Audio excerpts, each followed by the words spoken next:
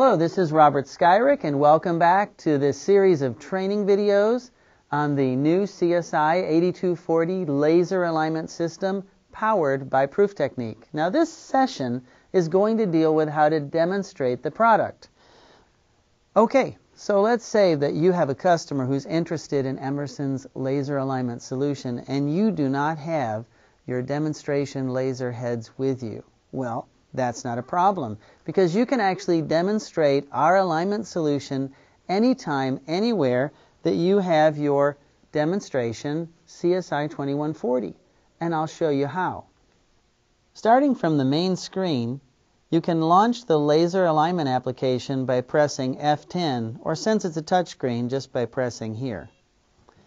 Now the laser alignment application has three steps and it's very important to communicate to your end user the simplicity of our laser alignment solution. One, two, three, three steps. The first step is to enter dimensions.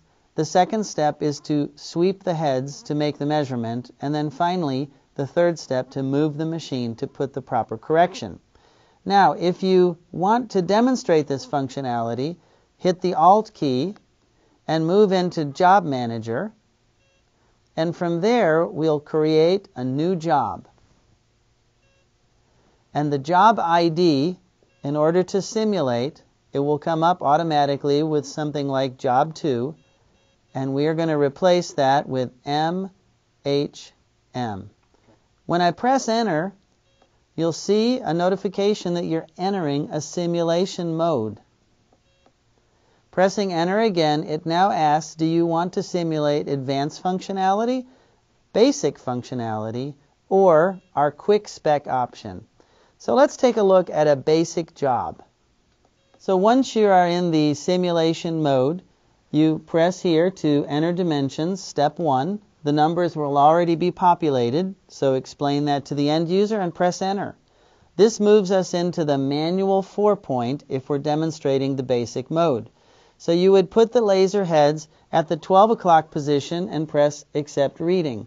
Then rotate to the 3 o'clock position and press accept reading. Rotate down to the 6 o'clock position and accept reading. And then rotate over to the 9 o'clock position and accept reading. Once you have all four measurements, you press enter. And now we can see the misalignment in both the vertical, and if I press here on switch move type, horizontal, vertical and horizontal, or you can see both simultaneously. Now the red ring indicates that we're far out of optimal alignment. In the horizontal, we have the ability to switch to a live mode. So I'm going to press that key and it tells the user, put the laser heads in the position where you want them during the live move and press enter. At this point, when I press the start button, it will automatically simulate the movement of the machine and you see it going from the red to the yellow to the green and then finally to the green with a star. That means that we've actually achieved excellent alignment relative to the tolerances. We press stop and that concludes the basic demo.